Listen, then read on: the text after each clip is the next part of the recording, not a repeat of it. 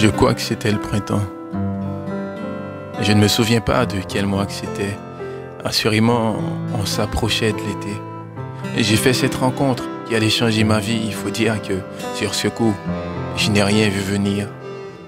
Elle était devant, non loin de la porte, et moi derrière, au milieu de mes potes. À l'époque, on se parlait peu à l'école, mais on s'envoyait des textos. Le peu de jours qu'on se parlait, c'était drôle. On arrivait même à parler trop. C'était beau de voir l'amitié s'établir. On partageait un tas de moments, un tas de passion, un tas de rires. On était naïfs et jeunes, de reposer sur la passion, l'aventure, c'est déjà tout ce que j'aime. Avec ma mentalité de mauvais garçon, je m'amusais et c'est tout. Ce n'était pas du sérieux, mais au bout de quelques jours, j'avais ce sentiment mystérieux, j'étais réticent. Tu sais, les players, ils disent toujours que les sentiments ne sont pas pour eux. Mais dans mon cas, il ne m'a fallu que quelques semaines pour l'avouer que j'étais amoureux.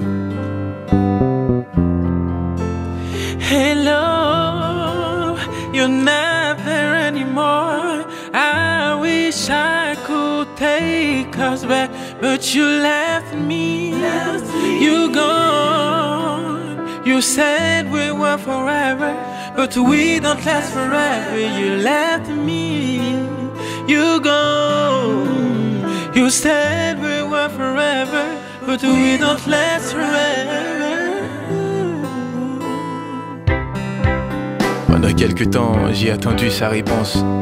Mais je t'assure, ce n'était pas non, ça met de la couleur dans ton existence. Quand t'as une copine à la fois intelligente et canon, ce n'est qu'un nom l'amour, ça prend son sens quand t'as quelqu'un. C'est tellement magnifique quand t'as quelqu'un sur qui compter, surtout une jolie fille qui te rassure quand t'es dans les certitudes. Avec les études, ça continuait, on devait préparer le bac. C'était un peu ça en vrai. L'année d'après, on devait entrer à la fac. On partageait notre amour en faisant nos devoirs, nos leçons. C'était fou, mais je t'assure, c'était très intéressant. On a eu le bac qu'on a pris le temps de préparer. Je me souviens de ce jour-là, on était comme des tarés, c'était fou. L'amour avait la voix au chapitre. On ne l'avait pas sonné, putain, le temps passe super vite quand on est passionné. Dans trois semaines seulement, on a fait un tas de trucs de malade. La passion ne dure pas, disait-on, mais pour nous, c'était des salades. On vivait des moments intenses, de romantisme exaltant, accordé par le ciel. C'était tellement tentant, de temps en temps, je me demandais si on n'était pas les seuls partager cet amour passionnel. Chaque semaine, on se voyait, on se parlait, on faisait des excursions. Ce n'était pas le type de relation où les excuses sont permanentes. C'était ça, juste avant ce soir, cette voiture a percuté la mienne.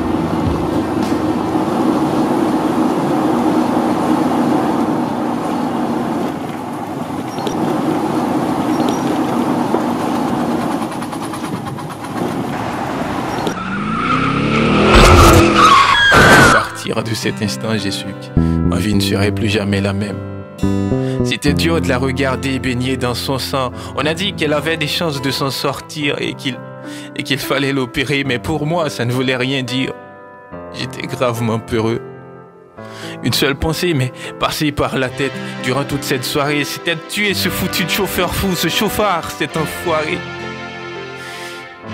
Des jours après l'accident, j'étais là. Je voulais au moins voir ses yeux une dernière fois, mais il y a toujours ces luxes qu'on ne peut pas s'offrir. Quatrième jour après l'accident, elle a arrêté de souffrir, de souffrir. Après ce drame, j'ai failli sombrer dans l'alcool et la drogue, mais ces derniers ne font rien que partager ta douleur avec tes proches. On la vie devant nous. Qui aurait cru que la mort était si proche? J'ai perdu l'amour de ma vie. Si rien n'est imprévisible, la mort, le malheur le sont. Cette histoire est très triste, elle m'a appris un tas de leçons. J'ai compris comment il est important de profiter de chaque instant que nous offre la vie. Et j'ai compris qu'on peut devenir trop vieux pour vivre, mais qu'on n'est jamais trop jeune pour mourir. Carpe diem.